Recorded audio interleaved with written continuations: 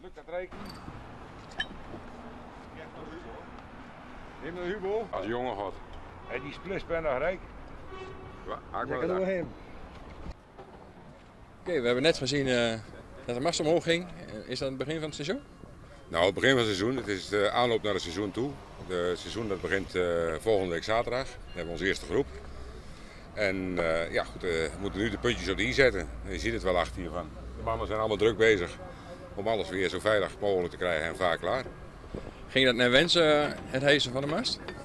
Ja, het ging inderdaad eh voor gevoel naar wens. Dus, eh, het is allemaal nieuw. Eh, ja, eh, Wat is er nou anders dan eh, toen dat de mast plat ging?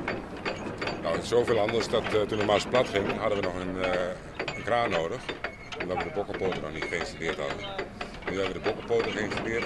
Er zijn twee balken voorop liggen. En nu kunnen we dus zelfstandig mast op en neer doen. We hebben geen kraan nodig. Dus eh, dat maakt het voor ons makkelijker. En dat maakt het ook dat ons vaargebied wat groter zou kunnen zijn. We kunnen nu bijvoorbeeld ook naar Zwolle, kunnen we onder de vaste bruggen door.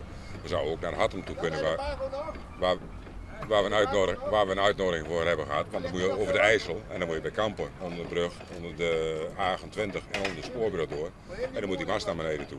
Dus eh, mogelijk dat ons vaargebied, doordat we nu die bokkenpoten klaar hebben, ook wat groter kan worden in de provincie Overijssel. Binnenkort eh, de tocht naar het verdronken dorp de Beurlaken. Kunnen zich mensen daar nog voor opgeven? Nou, het is eh, op het moment, eh, de eerste keer dat we dat doen, is volgeboekt.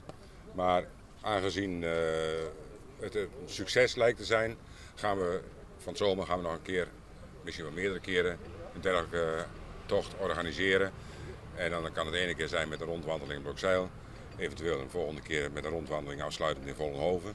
Maar de eerste tocht voor mei is al volgeboekt. En eh, wij zullen binnenkort eh, met elkaar beraden dat er nog een aantal data bij komen voor de rest van het seizoen. Dus de vijf is klaar voor het seizoen. eh. Nee, het schip is nooit klaar. En een schip is nooit klaar. Maar we hebben deze winter wel weer een flinke klap kunnen geven op eh, dingen die, die nog noodzakelijkerwijs moesten gebeuren. Dus we zijn weer een flinke stap verder. De timmerman is nog bezig in vooronder. En eh, nou, als dat net zo mooi wordt als het, eh, als het roefje, nou, dan, eh, dan varen we aan het eind van het jaar varen we al met een volledig ingericht schip.